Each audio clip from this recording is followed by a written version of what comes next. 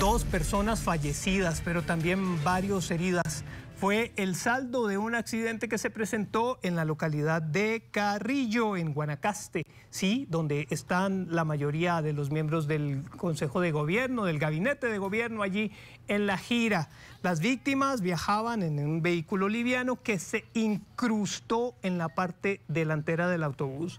El incidente fue reportado a las ocho y media de la noche por el Cuerpo de Bomberos, 250 metros del río Las Palmas en Filadelfia. El percance fue atendido por bomberos y por la Cruz Roja. No se conoce aún la condición de los heridos.